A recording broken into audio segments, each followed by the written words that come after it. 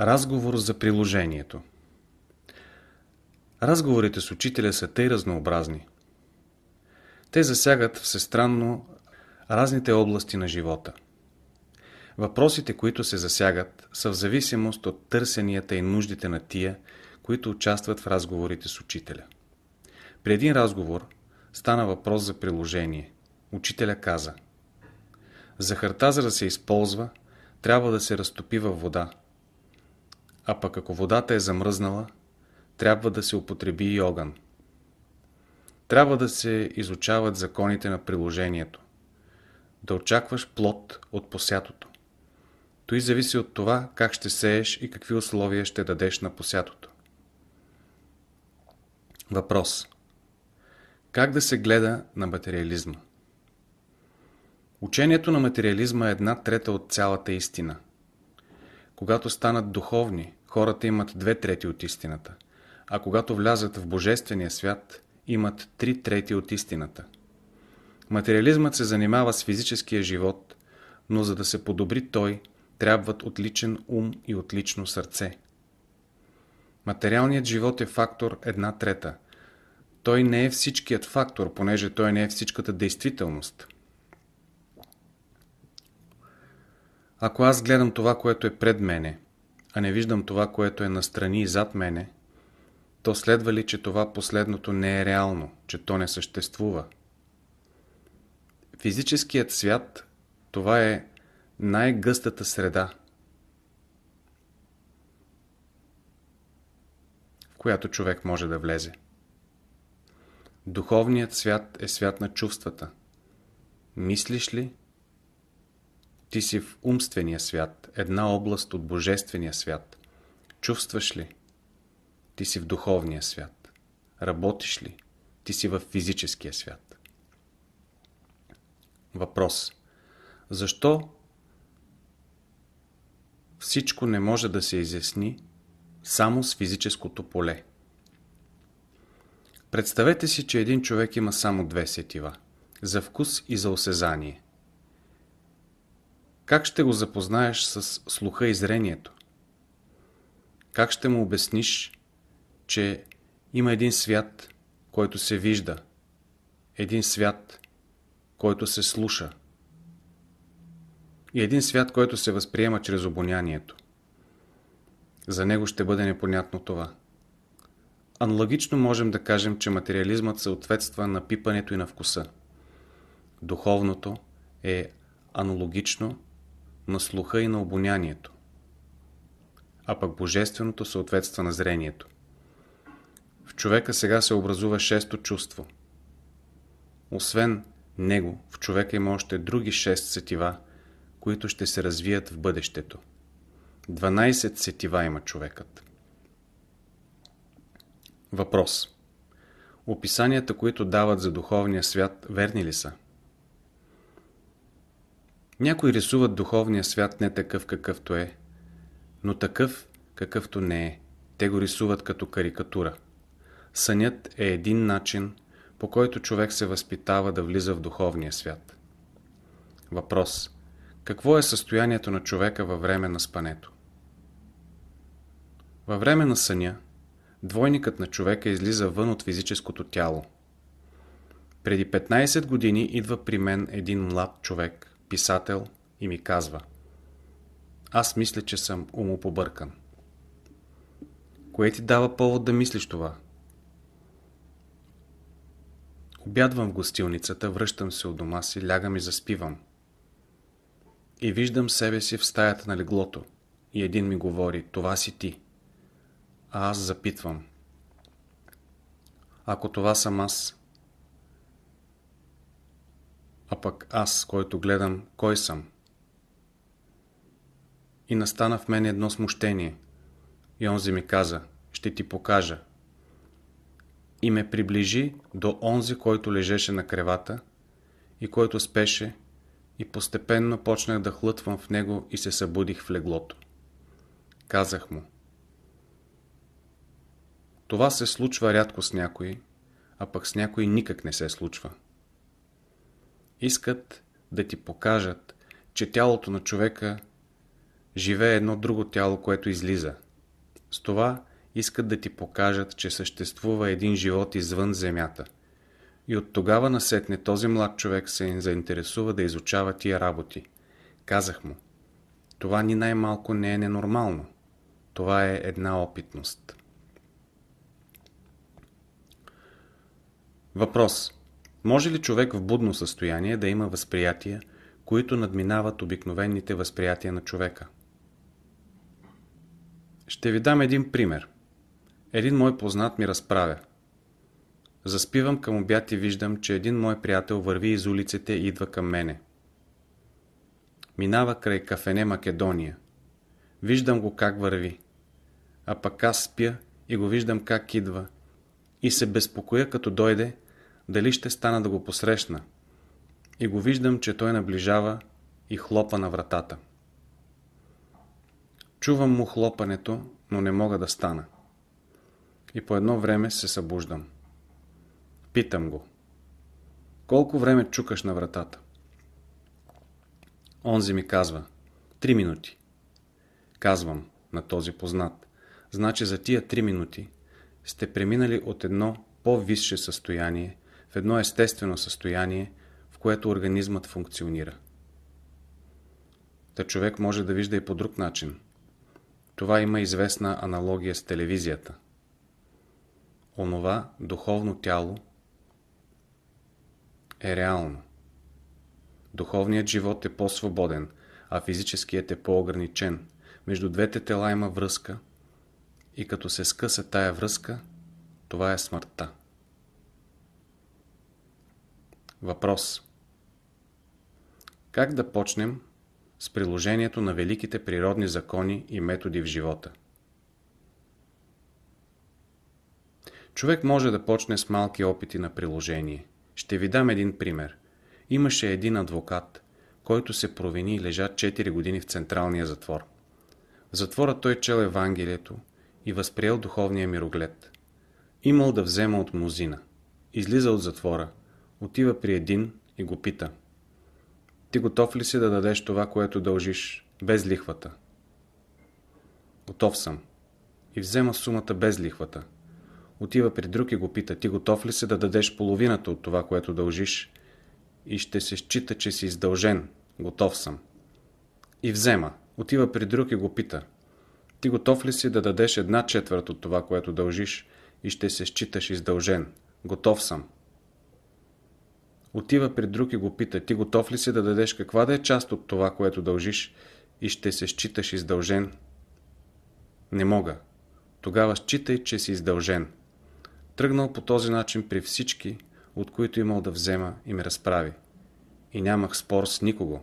По-рано спорех, давах под съд. И влезе мир в душата ми. И тия хора ми станаха приятели.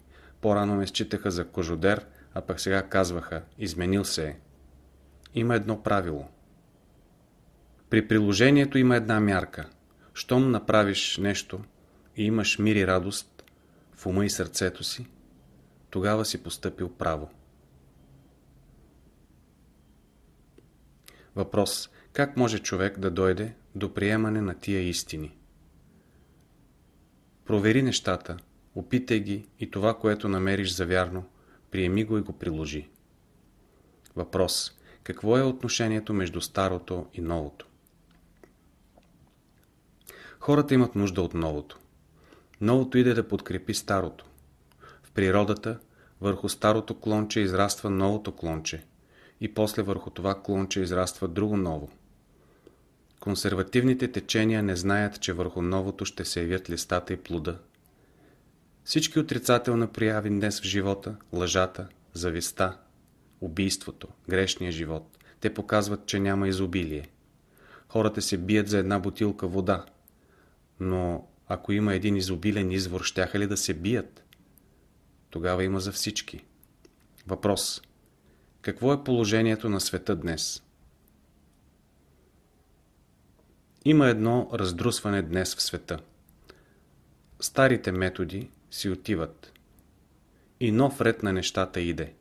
Нов ред иде в Европа. При днешните механически средства, ако продължават до край, всички ще бъдат победени. Няма да има победители. От всички тия страдания, които днес човечеството минава, ще излезе едно възродено човечество, което ще тръгне по съвсем нови пътища. Ще дойде едно велико пробуждане на съзнанието и хората ще приложат новите идеи. Списание Житно зърно, 1940 година, книга 1.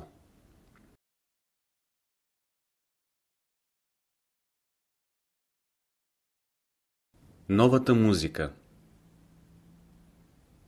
Красиви са разговорите с учителя след лекцията. Тогава се създава особена атмосфера, която е във връзка с предмета на току-що държаната лекция. Във връзка с състоянието на душите, с характера на момента, с обстановката и прочее. Всичко там става импровизирано, непринудено, проникнато с една вътрешна красота и естественост. След сутринните упражнения ние сме отново в салона. При пияното се упражнява новата песен «Сила, здраве е богатство». Как се чувства вътрешната сила, творческата мощ на новата песен? Живо чувстваш как с вълните на тая песен се вливат в организма животворни струи от целия всемир и тия струи внасят в човека здраве, сила, живот, радост, свежест и желание за работа. Какво мощно средство е тая песен за обновяване на здравия и за лекуване на болния. Създадена е красива музикална атмосфера. Изпява се песента «Давай, давай».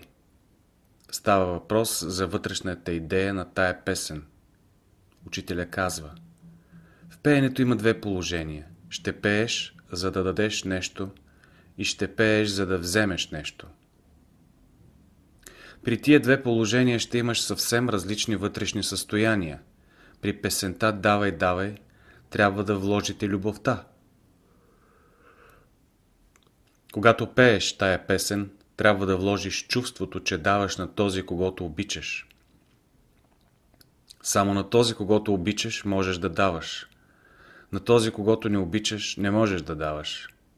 Щом не искаш да даваш, ти не можеш да пееш тая песен. Щом искаш да даваш, ти можеш да я пееш хубаво. Като обичаш някого, ти му даваш. Въпрос. Как може човек да получи вдъхновение при пеенето? Като пееш, кажи си, че пееш за уния музиканти, които са вътре в тебе. Когато пееш, пей за всички, за цялото, за великото в света. И при това съзнание всички противоречия в тебе изчезват. Противоречие има само в частите, но в цялото няма никакви противоречия. Когато имаш вътрешен подтик да пееш, непременно пей. Ако не пееш, тогава ти се осъкатяваш. Така правете за да станете певци. Въпрос. Как се обяснява, че в днешната епоха има особен разцвет в музиката? Човечеството минава днес през най-големи страдания и изпитания и по един целесъобразен начин музиката е направила особен напредък, за да може човечеството да ги мине по-леко. Като минат сегашните изпитания, иде една велика музика. Въпрос. Днес ли човечеството е достигнало до най-големия разцвет в музиката? Мнозина мислят, че музиката сега се е развила повече отколкото всеки друг път. Това е право в този смисъл, че ние сме станали по-способни да разбираме музиката, а не че тя сега се е развила. Преди днешната музика, посветените преди хиляди години в оркестри и хорове са упражнявали една музика, която хората те първа ще я чуят. Въпрос. Защо са страданията в света? Не можеш да живееш на земята, ако не страдаш и не се радваш. Истинските страдания и истинските радости са, когато страдаш и се радваш за цялото, за великото в света. Вие разглеждайте нещата от гледището на цялото. Щастието на всички хора е мое щастие и скръпта на всички хора е моя скръп. някой казва да се пожертваме за цялото. Това пожертване за цялото ще дойде по-после. Ти никога не можеш да се пожертваш, ако не разбираш страданията и радостите. Като се пожертваш, ще излезеш над скърбите и радостите към нещо по-велико. Страданието удължава живота, а неразбраните радости го скъсяват. Трябва да прекараш 100 скърби, за да можеш да издържиш и разбереш една истинска радост. Страданието е приготовление за радостта. Като минеш 99 страдания, тогава стотното преживяване ще бъде радостта. Страданието съществува като психологическа необходимост за радостта.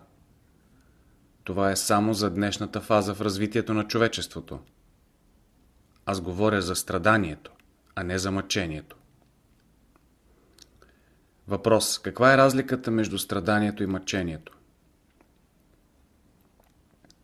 При мъчението слизаш надолу, а при страданието излизаш навън. При мъчението няма разрешение, а при страданието има. При мъчението няма отворена врата, а при страданието има.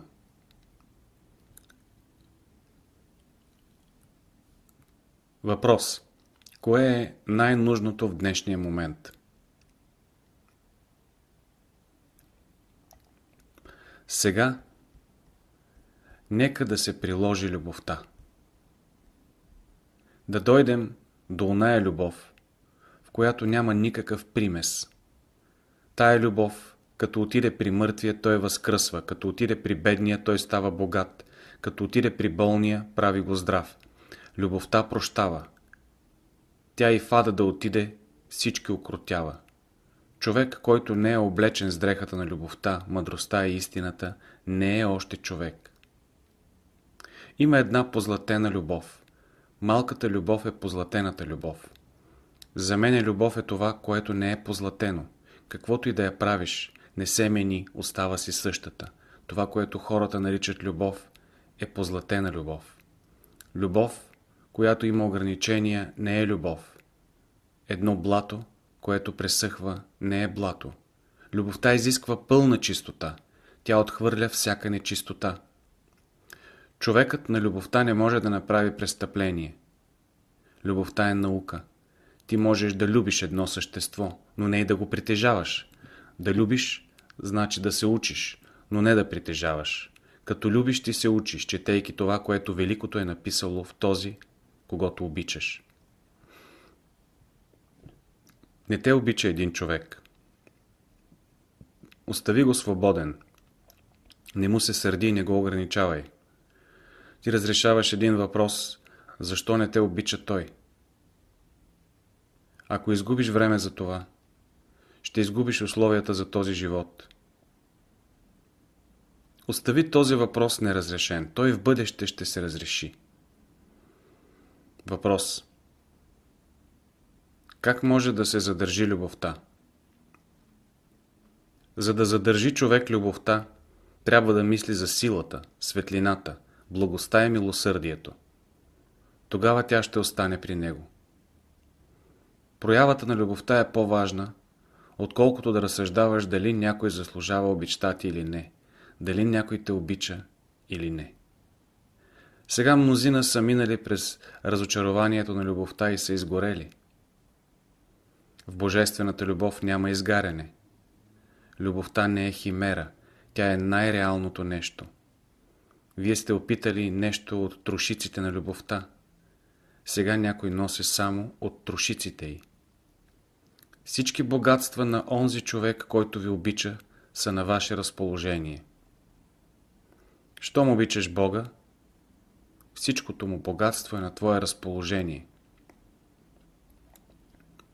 И понеже великата разумност в света ни обича, то тя всеки ден ни поправя работите. Закъсали сте духом, обезверили сте се. Тя поправя работите. Любовта никога не се захласва. Тя не те чака да кажеш какво ти липсва. Тя ти даде това, от което се нуждаеш и си върви. Любовта е която дава всичко. Каквото си взел в турбата си, давай го. И каквото давате, то ще се увеличава в вас. Който люби, той познава безграничния. Когато някой те обича, той обича божественото в тебе. Ти се радвай, че той обича безграничния. Не се месете.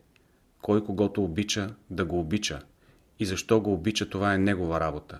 А пък, като обича него, той обича и тебе.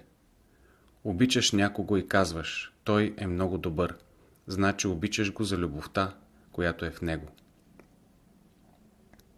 Когато мина покрай някоя круша, виждам, че не са озрели плодовете й, но когато дойде лятото ще озреят. Значи, когато видите, че някой човек не е добър, не на време сте отишли, но когато дойде лятото, колко добър ще бъде. Вие искате да ви обича някой, но той не може да ви обича. Той няма още озрели плодове. И какво казва? Елате след един месец.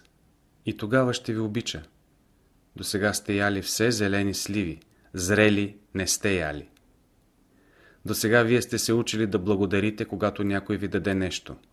А пък сега ще се учите да благодарите, без да сте получили нещо. Когато подаръците отидат на друго място. Човек, който не обича истината, красив не може да стане. Човек, който не обича мъдростта, светъл не може да стане. Човек, който не живее в любовта, топъл не може да стане.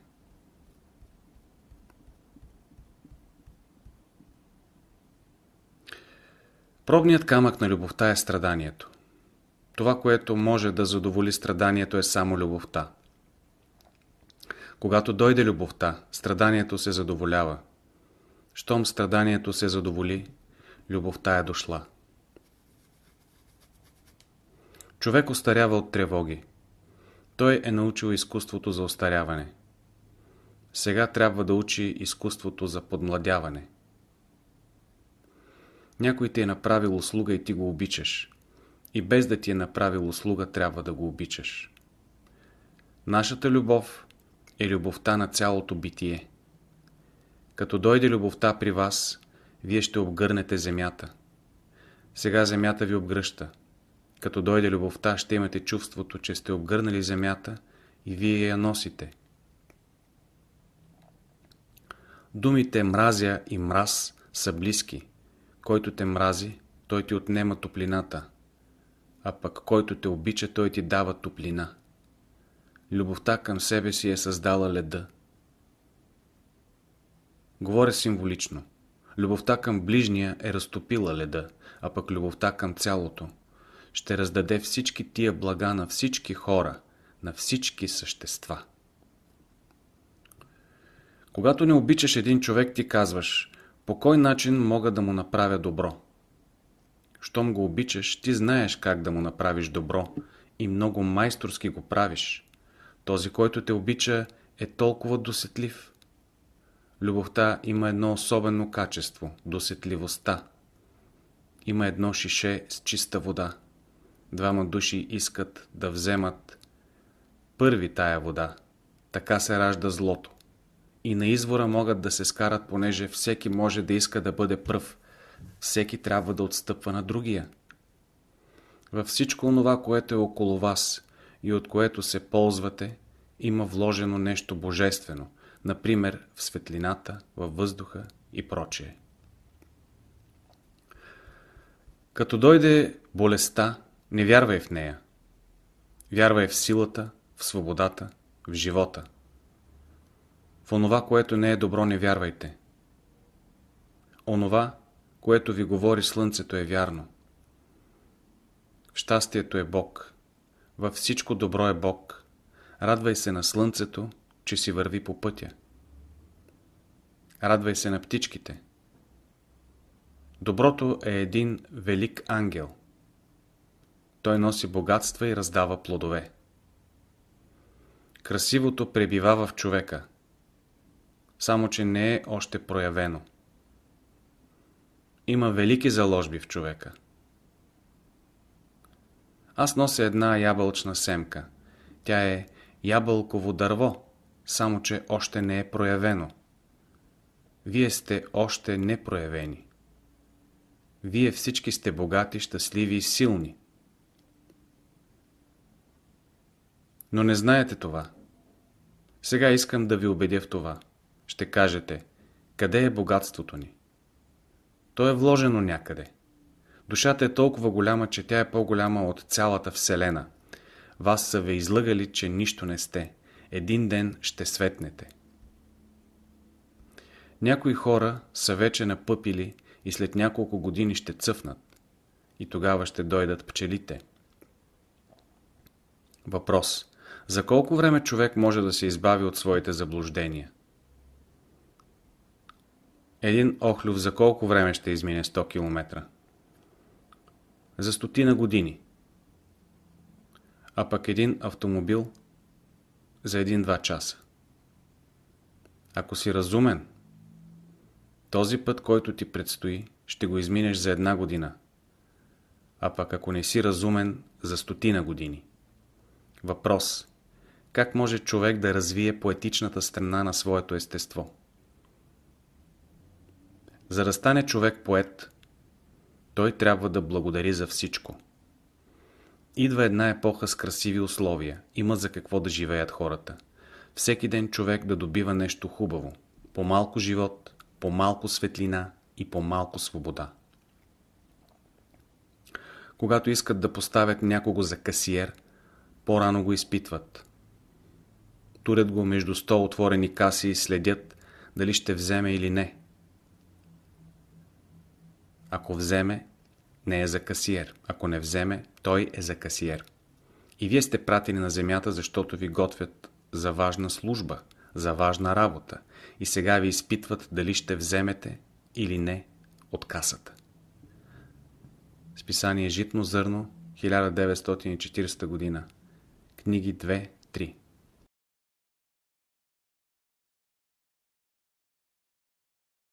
Група лекари при учителя Ранна пролет, 11 април Навсякъде по изгревските градини са се явили вече първите пролетни цветя.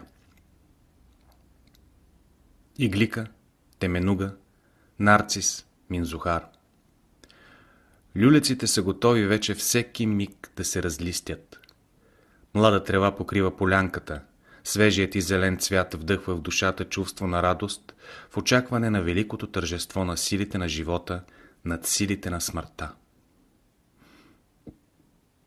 При вечер Група лекари са пред стаята на учителя. Те отдавна са слушали за него, но след прочитането на новия ден интересът им е засилен. Нови въпроси е събудила тая книжка в тях. Придружава ги един от братството, техен добър приятел. Всички са млади, жизнерадостни, идейни, жадни за творчество, за дейност. Интересуват се не само от своята специалност, но и от всички обществени въпроси. След обичайните поздрави в кабинета на учителя, един от тях подкачи разговор с следните думи. Когато прочетох новия ден, спомних си за моето детинство и юношество. Светли красиви картини се нанизаха пред вътрешния ми взор, като че ли отново се докоснах до красивия свят, в който живеех тогава. Когато я четях, като че ли нещо красиво, скъпо, неизмеримо ценно, което дълбоко и сега живее в глъбините на моята душа, ме облъхна със своята свежест, чистота и светлина. Когато бях малък, мислех, че всички хора са добри и затова имах към всички лице усмихнато, доверчиво и светло. Имах непринудени отношения към всички. Мекотата и нежността на душата ми се изявяваха в моята усмивка, в моя поглед, в моите слова и жестове спрямо всички. Когато завърших образованието си, още продължавах да вярвам, че доброто живее във всички. Но когато постъпих на работа, Влязох в допир с много хора и изпитах големи страдания от падението, което видях, от фалша, грубостта, лицемерието, на които се натъквах на всяка крачка. Тогава изчезна оная доверчива усмивка от моето лице. То доби сериозен, строг, суров вид. Даже то огробя, изгуби красотата, финните черти, които имаше. И аз, съзнавайки това, изпитвам мъка, страдание, че не съм оня, който бях. Учителя каза Един млад момък имал неуспехи в живота си и всички начинания, които предприемал едно след друго му докарвали неуспехи, разочарования, огорчения. И той, обезсърчен, обезверен, решил да тури край на живота си. За целта отива към реката и вижда, че царската дъщеря се дави. Той я спасява и от тогава му тръгва напред. И вие като срещнете мъчноти в живота си, трябва да спасите царската дъщеря и всичко ще ви тръгне напред. Мислете сега, коя е царската дъщеря, която трябва да изкарате из водата? Човек трябва да знае, че по естество е добър и трябва да прояви своята доброта. Само като е добър, той е силен. Той е в съгласие с законите на разумната природа. Всяка лъжа, всяко зло, всяко насилие водят към робство и ограничение. За основа на живота трябва да се тури доброто. И тогава човек може да получи. Може да бъде богат, учен, силен и прочее. Тогава работата, която ще върши, добива смисъл. Един от присъстващите каза Прочитането на новия ден събуди много въпроси в мен. Например, какво е отношението между вътрешните възможности на човека и външните условия? Преди всичко, хората трябва да знаят, че те сами са създали външните условия в обществото. Вътрешните възможности в хората са създали външните условия. Ето защо хората са господари над външните условия и могат да ги изменят. Нека да не мислят, че външните условия са господари. Идеята, че вътрешните възможности са неизчерпаеми, това е смисълът на изречението Царството Божие е вътре във вас. И когато се пробуди у хората новото съзнание, тогава това царство ще се проектира и вън в живота, ще се въдвори и във външния живот. Естественият живот значи влизане в реалния свят. Реалният свят е оня, който няма сиромашия, болести, нещастия, смърт. Щом човек се отклони от естествения живот, идват нещастията. Всеки от присъстващите иска да сподели с учителя въпросите, които го занимават. Един от лекарите каза Наскоро имах едно преживяване, което не мога да си обясня и до сега. Сънувах, че влизам в непозната къща. Запомних много добре обстановката. Помня много добре, че влязох в един салон, отдето слязох няколко стъпала по една стълба, след което се изкачих в друг салон и влязох в една стая. Каква беше изненадата ми, когато един мой приятел десетина дни след това ме покани за първи път в апартамента си, в който живееше. Още като влязох в предния салон му казах Чакай, всичкото разположение на помещенията в тая къща ми е познато. Аз го видях на сън преди няколко дни. Тогава му описах предварително плана на цялата къща. И всичко излезе така, както казах. Как може да се обясни това? Ще дойде време, когато няма да има нужда да сънува човек, за да има такава опитност. Ще дойде време, когато човек ще може и в будно състояние да има нещо подобно. Вие сте имали начало на развитието на шестото чувство. У всеки човек има вложени тия способности и когато човек организира тия сили в себе си, те ще се проявят. И тогава човек ще може да влезе във връзка с невидимия свят. Ще знае какво става надалече, по време и пространство. Природата за него ще се разшири. Тя ще отвори нови свои страни за него. А от всичко това човек се е отдалечил чрез неестествения си живот. Ако преди 30 години бяха казали, че хората ще слушат по радиото далечни концерти, сказки и прочие, щяха да помислят, че това е невероятно и невъзможно.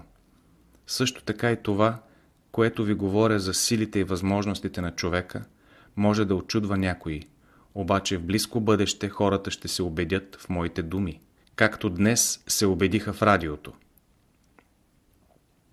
После разговорът се обърна към медицински въпроси. Един лекар каза Коя е причината за голямото разпространение на рака днес? Защо той има тъй голямо разпространение в днешната епоха, че даже се нарича болест на съвременната цивилизация?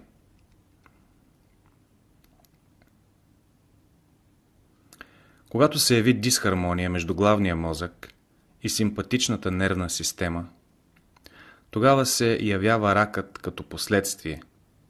И то последната причина. Тогава някои клетки стават свободни, индивидуализират се, не се подчиняват вече на хармоничните сили на главния мозък и на симпатичната нервна система, на божественото в човека. И почват да се делят по свой начин, а не с оглед на нуждите и интересите на целия организъм. Те стават царство в царство. И тогава се образуват тъй наречените ракови образования. След това разговорът отново се пренесе върху обществени въпроси. Един попита. Във връзка с днешното положение на света, какви са близките перспективи в развитието на човечеството? Разумният свят, разумните сили ръководят човечеството. Всичко е предвидено и техният план ще се осъществи във всички подробности. Сега са в действие разрушителните сили. Те разрушават, но след това ще дойдат силите на градежа, които ще се градят новото, великото, което иде. Ново съзнание се ражда у хората. Затова всред бурите и трясъка на днешната епоха запазете спокойствие и гледайте с доверие на бъдещето, което иде злото ще бъде ограничено. Всички кръци и разбойници, индивидуални и колективни, ще бъдат обезсилени и ограничени. Новата култура ще бъде култура на взаимопомощ и побратимяване на всички народи. Разумният свят съдейства за това. Пробуденият човек ще съзнава, че е пратен в градината на баща си да живее в любовта и с любовта, защото тя носи живота и свободата. Любовта развива ума сърцето и волята. Нов човек е само оня, който е умен, добър и силен, защото само умният, добрият и силният може да живее за цялото. Бъдещите хора ще се наричат синове на светлината. Те ще бъдат прозрачни. Въпрос. Какво значи това? Ето какво разбирам под думата прозрачен. Божествените подтици, божествената светлина и топлина, божествената сила ще минават през човека – той няма да ги спира, няма да им туря препятствия, ще им даде път да минат през него. Пригответе се за новата епоха, която иде. На път за шумния град, лекарите решиха отново да посетят учителя в най-скоро време. По пътя те водят оживени разговори. Оня, който говори как вярва в доброто, в своето детинство, каза – Онова, което имах в детинство, отново нахлува в мен и ме изпълва със своето очарование. Вярвам пак в доброто, което работи в душите. Вярвам, че силата и животът са в доброто. Отново се чувствам тоя, който бях тогава, в златното детинство. Неволно тия думи напомнят за речите на французите, държани при Рилските езера, на изгрева миналото лято. На професор Алфред Ломоние от Тулуския университет, на Тони Белмен от Лион, на Роже Фаетас от Париж. Ще приведа само няколко думи от словото на Тони Белмен. Тук си спомняме за нашето детинство, когато дните ни бяха свободни и открити за радостта, игрите и ученето всред природата. С какви мечти се пълнеха тогава душите ни за вълшебните богатства на планината и за красивите дарове, които тя пази за нас. Ние мечтаехме за една страна, дето цари истинско щастие, истински свободен живот на чистата радост, на истинската младост. После, когато пораснахме, около нас срещнахме хора, които ни дадоха пример на страх, на егоизъм, на подозрение, на лични долни сметки и интереси. И затова грижливо трябваше да газим тайно в душите си нашия дивен блян за рая на земята. Но днес, бидейки тук, ние виждаме и чувстваме, че нашите детски мечти стават действителност. Ние се уверяваме в това, което констатираме от много месеци насам, откакто изучаваме вашето божествено учение – неочаквани големи промени в нашата душа и в нашето физическо тяло, а постепенно и в нашите семейства и в нашите приятели. Списание Житно зърно 1940 г. книги 4-5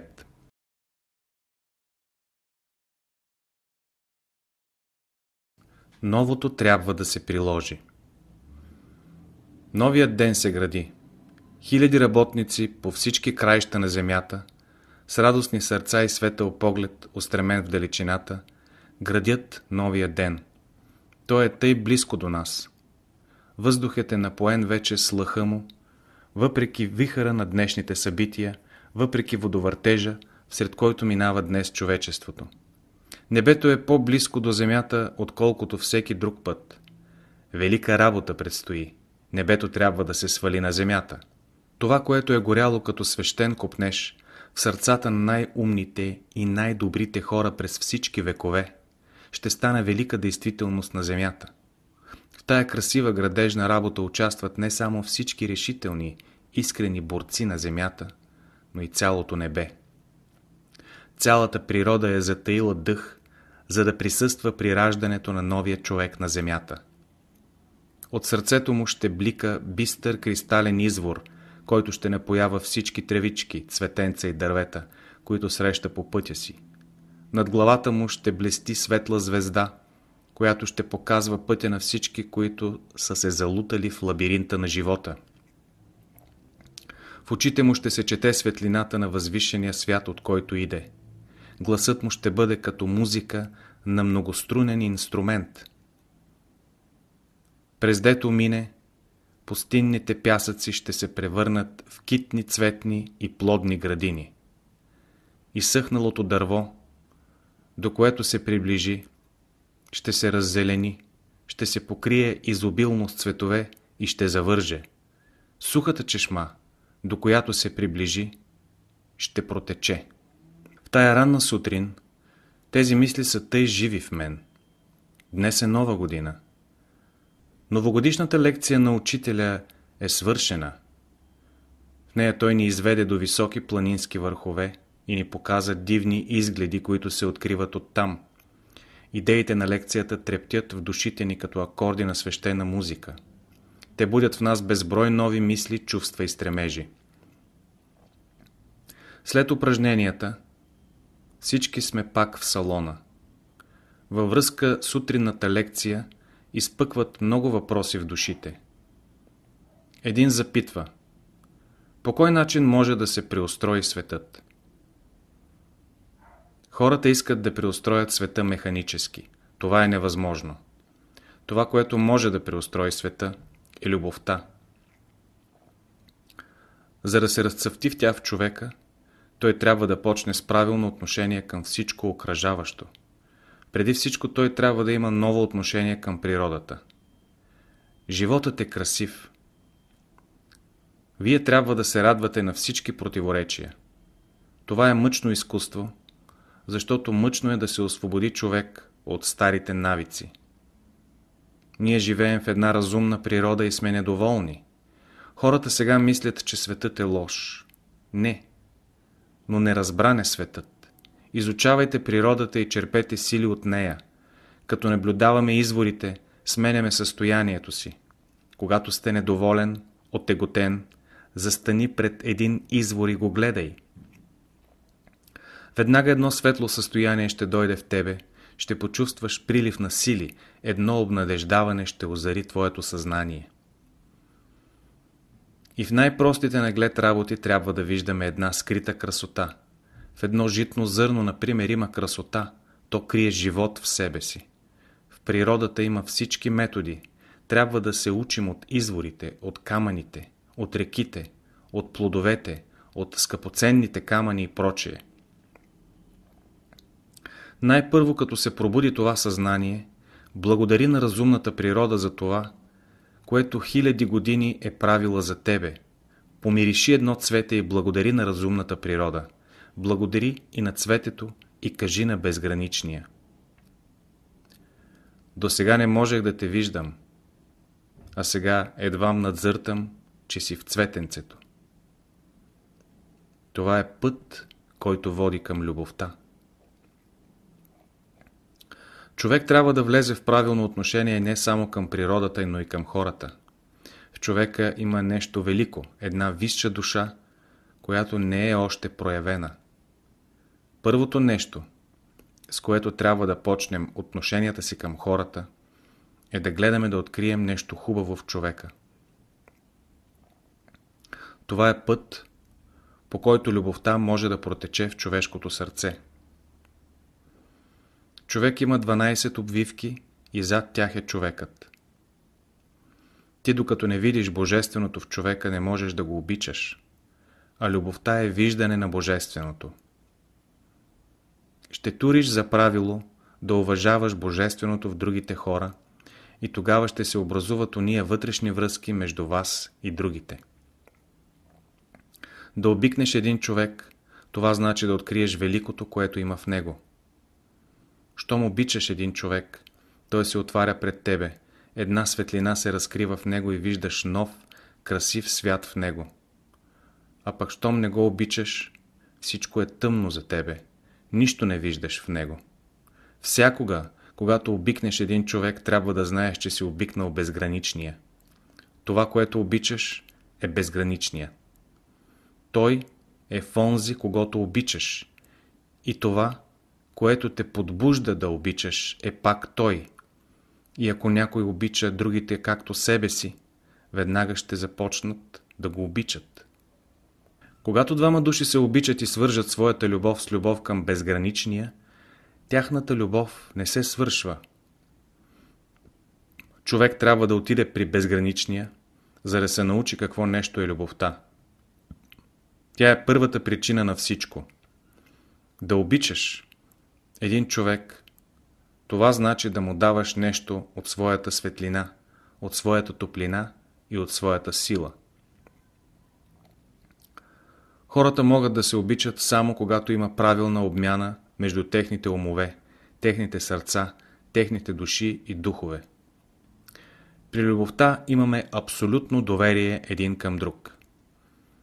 Хората, през чието сърца са протекли животворните струи на любовта, са строителите на новия свят, който иде.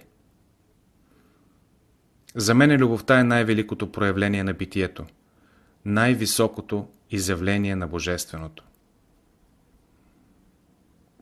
Светът ще мине през изпитания, които не е сънувал, и всред мъчнотиите ще проблесне съзнание у хората за новия път на любовта, който води към освобождение. Новият човек е човек на любовта. Когато се приближаваш до него, усещаш се добре. Той внася нещо хубаво в тебе. Както когато те грее слънцето. Добрите хора са като изгряващото слънце. Ако някой те обича и те погледне, или само помисли за тебе, той внася живот в теб. Да ни обичат хората, това значи да внасят живот в нас. Любовта е велика, необятна наука. Не чакай другите хора да имат хубаво отношение към теб, но ти да имаш хубаво отношение към тях. Ти искаш този, на когото служиш, да ти благодари, да те обича, но той още спи, не е пробуден. И като се пробуди, ще ти благодари. Това, което си приел от Бога, оценявай. Тогава и това, което ще дадеш от себе си, ще се оцени.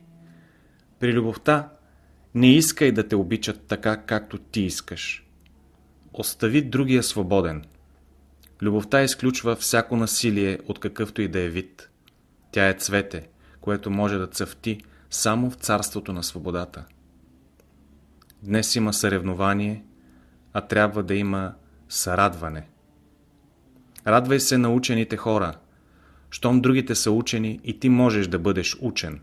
Щом другите са силни и ти можеш да бъдеш силен. Когато срещнеш болен човек, пожелай му да бъде здрав. Някой иска да стане учен човек. Пожелай му книги и учител. Ти не можеш да пожелаеш, както трябва, ако нямаш светлина в ума и топлина в сърцето. Щом пожелаеш, ти се радваш, че си проводник на безграничния. В духовния свят съществата не хвърлят лош поглед никому. Радват се на щастието на другите и живеят един за друг. И ние можем да живеем така. Но за да живееш така, трябва да има кого да обичаш. Въпрос.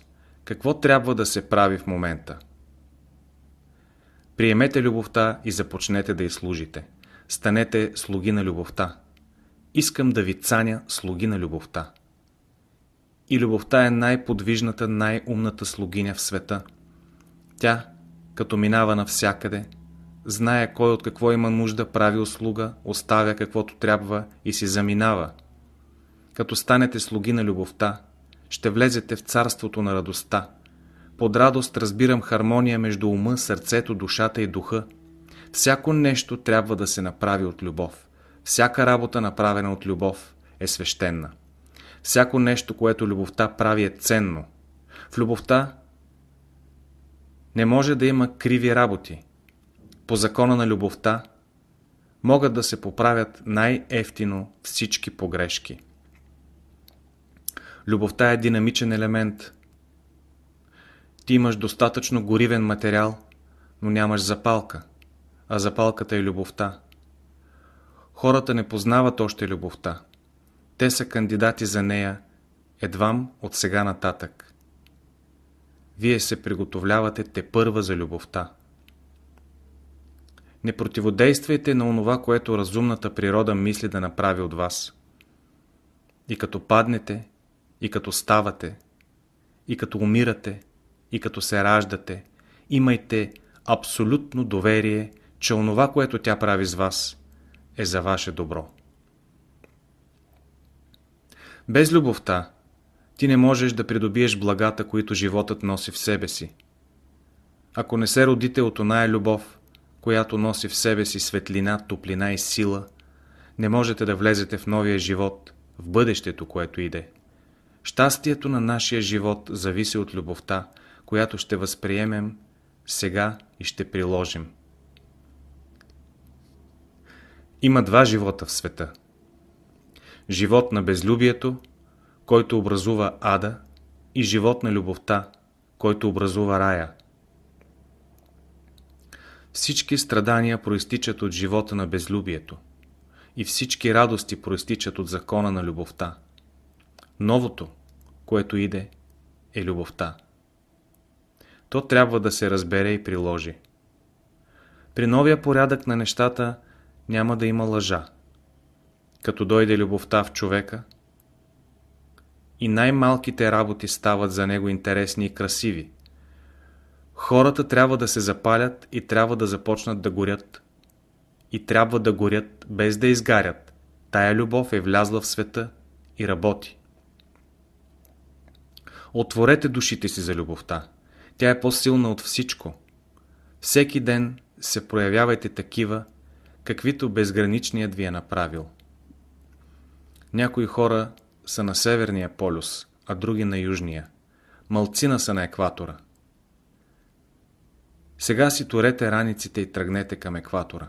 Там е мястото на любовта. Любовта е с най-малките противоречия. Оттам трябва да започнете всички. Там е мястото на изобилието. Тогава човек ще има какво да взема и какво да дава. Та сега ще отидете на екватора и като отидете там, ще научите всичко.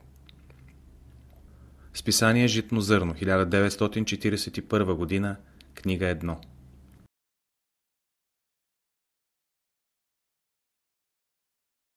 Гост от София при учителя Буря се изви нощес над цялата местност. Тъмни облаци покриха небето, светкавици прорязваха цялото небе. Грамотевици оглушаваха околността. Дърветата се огъваха под напора на силния вятър. Заплиска силен дъжд. Днес колко е нежно и мило небето. То е чисто синьо и спокойно. Слънчевите лъчи отново с нежна ласка галят земята. Как се чувства пролетния лъх днес? Въздухът е пълен с животворна сила. Тя пълни всяко същество с радост и свежест. Това не е ли символ за пътя, по който минава човечеството? След бурите, светкавиците и грамотевиците, ще дойде светло слънчево утро над многострадалната земя. След минаване през тунел, няма ли да дойдат за смени светли слънчеви поляни, покрити с цветя? Тия мисли работят днес в мен. Тъкмо в този момент един приятел идва от града. Той желая да говори с учителя.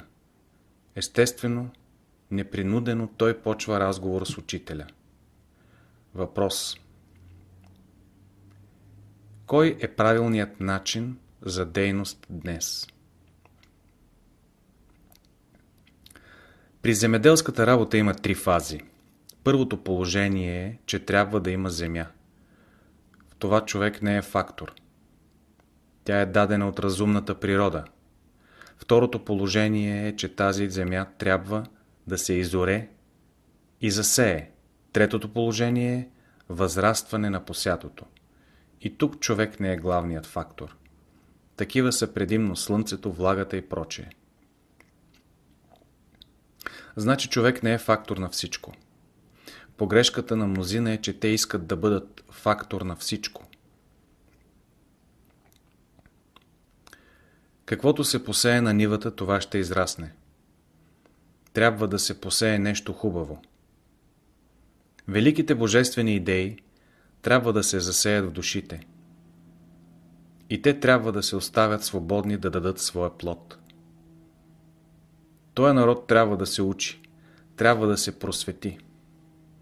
Новите методи за работа, новото разбиране на живота трябва да проникнат навсякъде и трябва да се оставят хората свободни, сами да организират новите форми, новия начин на живот. Народът трябва да има вяра в силите заложени в него. Сега трябва да се почне с най-малките усилия за приложение на новите идеи в живота. Слънцето ни изгрява изведнъж. Първо идва зазоряването.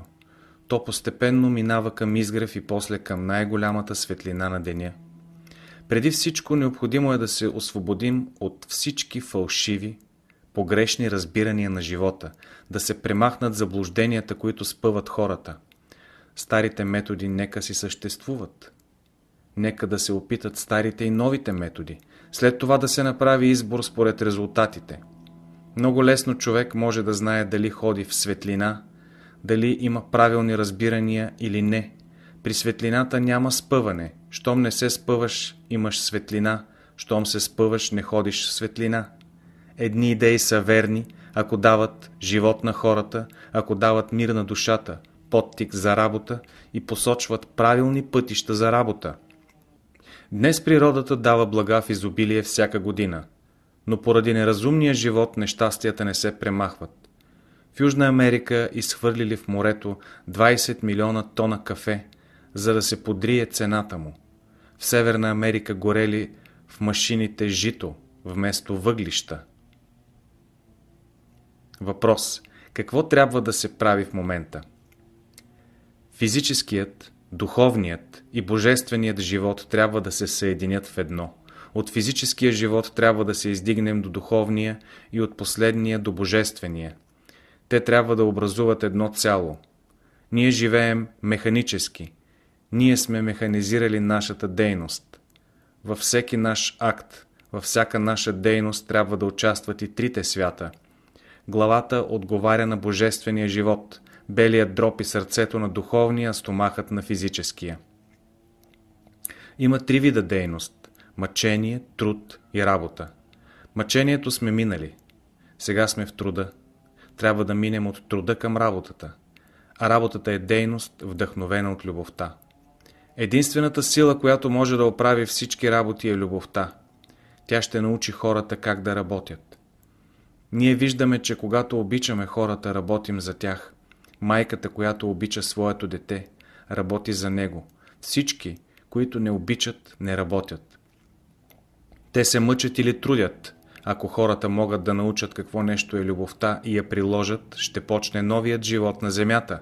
Ако стотици милиарди клетки в човешкия организъм могат да се кооперират и да образуват едно цяло, защо да не могат хората на едно общество да се свържат в едно чрез любовта? Единственото нещо, което не се нуждае от доказателство е любовта. Тя има език, който разбират всички хора, всички същества. Тя осмисля нещата. Сега любовта слугува на силата, а в новата култура силата ще слугува на любовта. Всички трябва да работят от любов. Реплика Когато бях в странство, ставаше дума за всемирното братство в България и ми казаха Много е естествено, че тъкмо в България се родиха тия идеи, защото тя е страната, която е дала богомилството, което докара Ренесанса и реформацията в Европа. България и славянството влизат сега в една благоприятна епоха за тяхното развитие. Те са в началото на своя възход.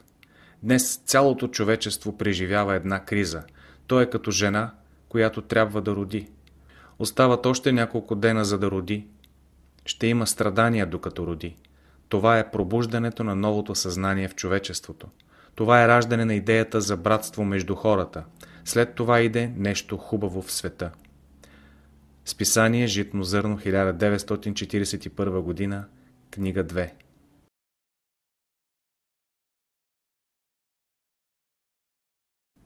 Задачите на живота Красива е картината, когато след беседа или лекция слушателите заобиколят учителя – това не е ли символ на онзи копнеш на човешката душа за светлина, за свобода, за слънце? Както напуканата земя жадува за благодатния дъжд, така и изжаднялата душа на човечеството днес гладува и жадува за висша правда, за висша истина, за висша красота, за любов. Човечеството в многовековния си път е опитало много методи, много начини за разрешаване на задачите на живота и винаги се е натъквало на нечувани противоречия, мъчноти и страдания. Те са го учили, че трябва да търси истинския път и днес все повече от будните души почват да налучкват този път. Човечеството добива все по-ясно прозрение, че новият път, който трябва да опита е любовта и чрез нея ще влезе в истината и красотата. Тези мисли ме занимават живо в този момент – Разговорът почва във връзка с току-що изнесената беседа. Въпрос. Как може да се осмисли животът на днешния човек? За живота, който хората живеят днес, има нещо скрито. Този живот, който живеят хората, не е още реален, докато се карат и прочее, те не са в реалния живот, а в живота на сенките. В реалния живот се влиза чрез любовта, трябва да се знае, че божественото в човека това е истинският човек, а нисшето в човека това е сянката му. Вие сте даровити, но не сте проявени още. Гледайте да откриете нещо хубаво в човека. Това е пътят, който води към любовта. Всякога, когато обикнете някого, трябва да знаете, че сте обикнали безграничния. Ето защо, когато обичате някой човек, трябва да имате абсолютно доверие в него. Всяка разумна дейност почва с любовта. Не можеш да направиш добро, докато не обичаш. Когато обичаш, ти се учиш. Самата любов те учи. Когато обичаш ближния си, той да се мени, ти да не се мениш. Каквото и отношение да има той към тебе, ти да не се мениш. Какъвто и да е, ти да не се сърдиш. Въпрос. Дали горе хората ще се познават с близките си. Ако се обичат, ще се познават. Които не се обичат и тук не се познават. В духовния свят, Когато помислиш нещо лошо за онзи, когато обичаш, той изчезва, става невидим за тебе. Като го обичаш, ти го виждаш, говориш с него. При най-малкото подозрение той изчезва. Когато някой човек ви обича, вие не знаете как се е зародила тази любов, не знаете нейната история. То е цял роман. Това, че хората се обичат, е от далечното минало. Ти обичаш някого. Той ти е направил едно добро в миналото. Може би е пожертвал всичко за тебе. Така човек влиза в училището на любовта. И когато дойде в космичната любов, той обича всички, понеже за него е реалност, единството на живота. Когато някой идва с малко шишенце, колко можеш да му сипеш? Толкова, колкото събира шишенцето.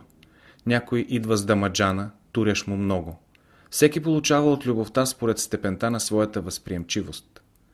Човек е способен да обича или не, но ще има резултатите на едното или другото. Когато обичаш, ти се ползваш и онзи, когато обичаш, се ползва, ако правилно оценява твоята любов. Да обичаш, това е най-голямата привилегия, която можеш да имаш. И правилно да оценяваш любовта на другите към тебе. Това е също най-голямата привилегия, която можеш да имаш. Като обичаш една книга, тая книга ще ти даде нещо. Като обичаш някого, всякога ще възприемеш нещо от него. Като обичаш някого, ти го повдигаш. Всички хора, които се обичат, да знаят, че градят божественото здание. Любовта винаги гради. Някои хора, като се обичат, с това повдигат цялото човечество. Цялото битие се ползва от това. Любовта е влизане в живота. Силата се добива чрез любовта. Единственото нещо, което ни дава сила, е любовта. И знанието се добива чрез любовта.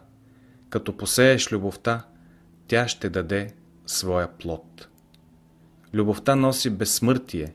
Когато обичаш някого, ти подготвяш за него пътя на безсмъртието. Под смърт разбирам най-ограничителните условия. Казано е, всички няма да умрат, но всички ще се изменят. Радвайте се на това. Това става при любовта. При нея човек възкръсва от мъртвите. До тогава е бил мъртъв. Най-напред ще обичаш цялото. Като обичаш цялото, ще обичаш и частите. Вие говорите за любовта. Всеки от вас носи по едно шише с вода. Вие носите любовта със себе си. Не е ли хубаво да говорите и за извора, отдето сте взели водата? Законът ли на любовта е, като обичаш едного, обичаш всички? Въпрос. Кои са формите на любовта? Има любов обикновена, любов на талантливите и любов на гениалните. Първо човек се учи на обикновената любов и после се издига до любовта на талантливите и след това до тая на гениалните. И като премине през тия три стъпала, ще дойде до същинската любов. Тези три стъпала са предисловия на любовта. Хората сега са само кандидати за любовта. Всички хора имат проблясъци за нея – макар и само за няколко секунди. Въпрос. Какво е бъдещето, което иде? Човечеството сега навлиза в едно царство на изобилна светлина. Всички по-будни души чувстват това. Има един божествен план, който ще влезе в изпълнение. Списание Житно зърно, 1941 година, книга 3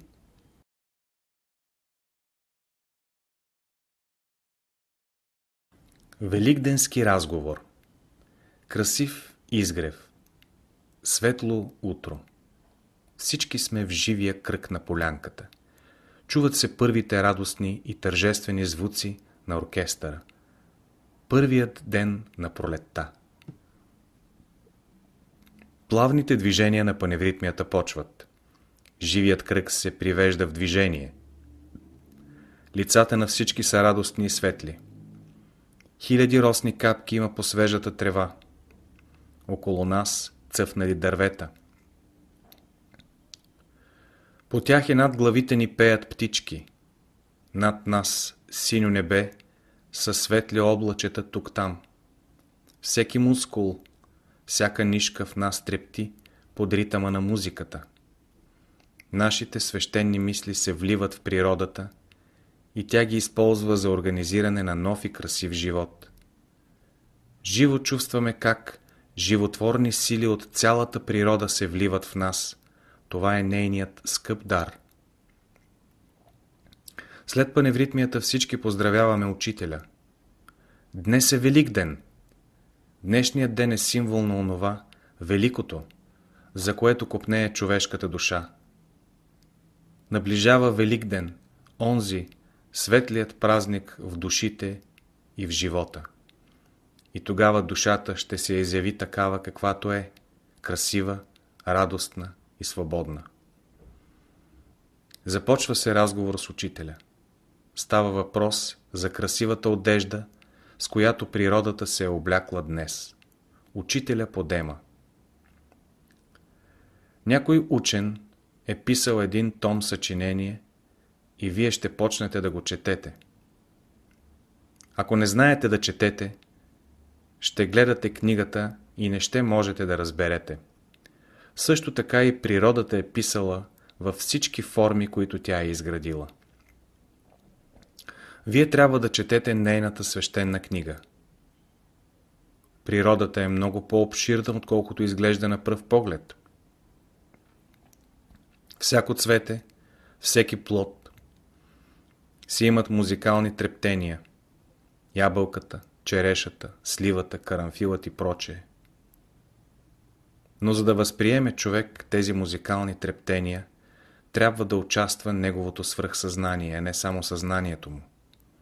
Като ядете един плод добре, вие го четете. Ако не го ядете добре, не можете да го четете.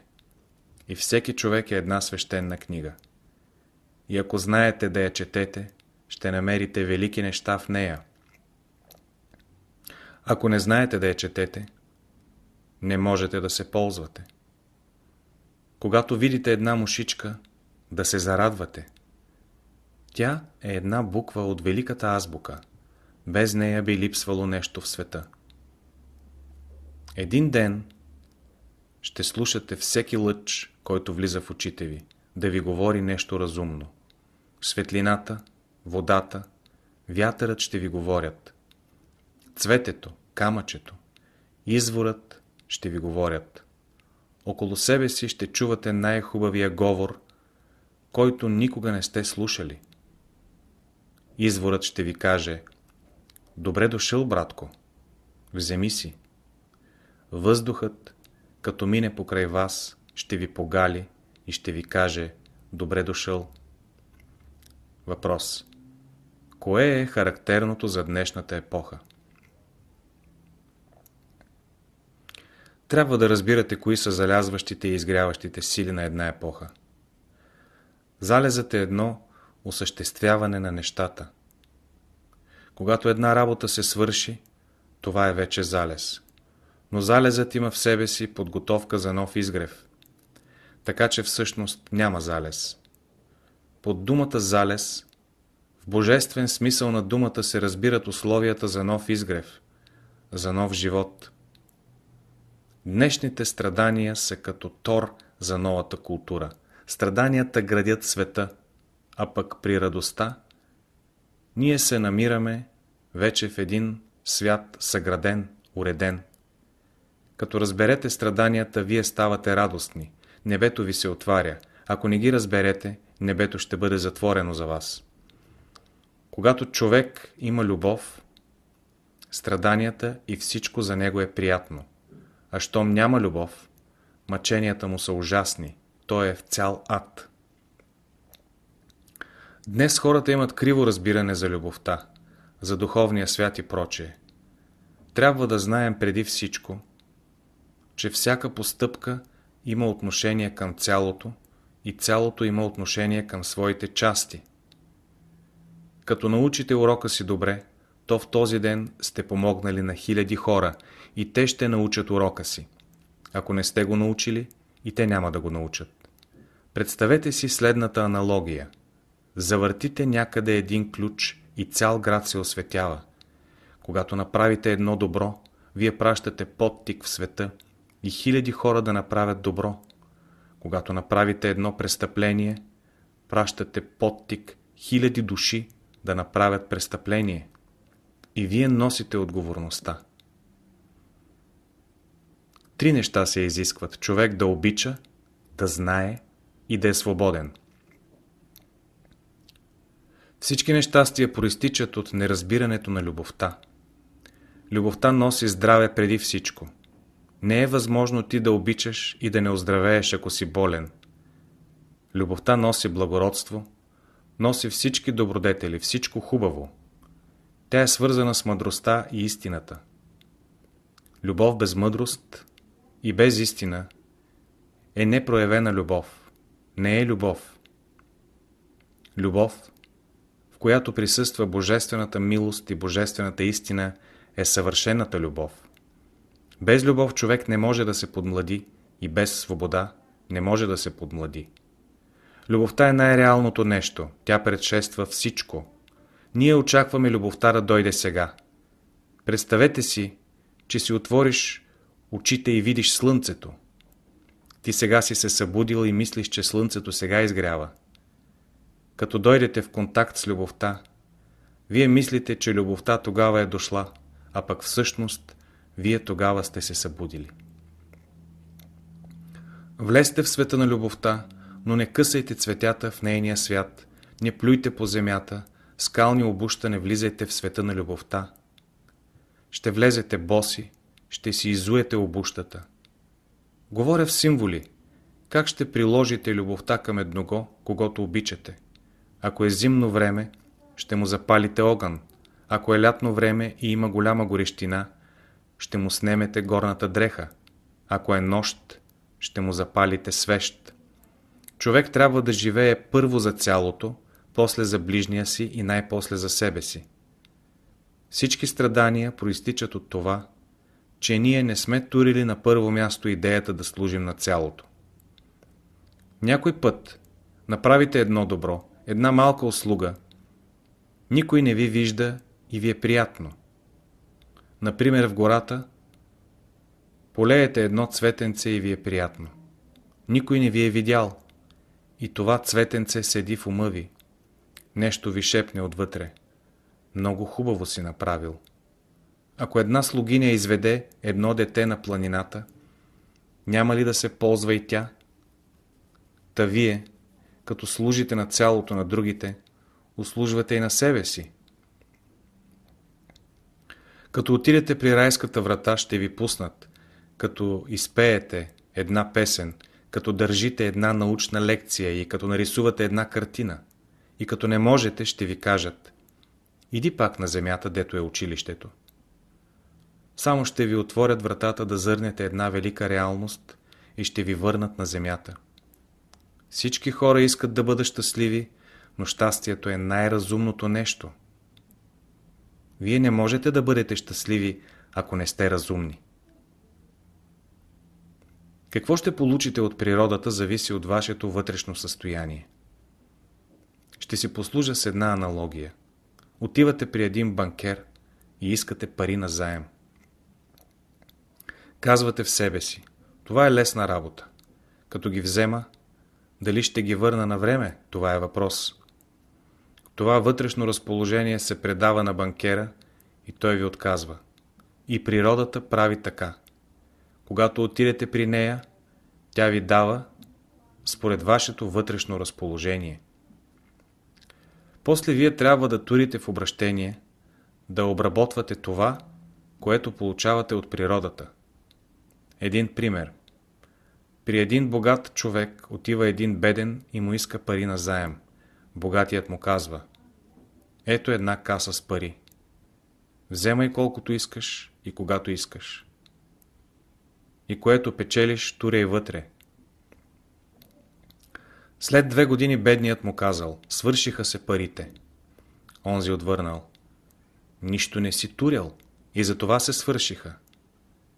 Та и ние сега вземаме и не туряме и в края на краищата казваме Свършиха се парите. Посейте това, което получавате. Въпрос. Кои са близките перспективи, които ни очакват? Сега хората са по-развити, отколкото по-рано. Сегашната епоха 10 години работа е равна на 1000 години работа в миналото. Мнозина казват, новото ще отложим за по-нататък. Не сме израснали още. Сегашната епоха е една от най-благоприятните за постижения.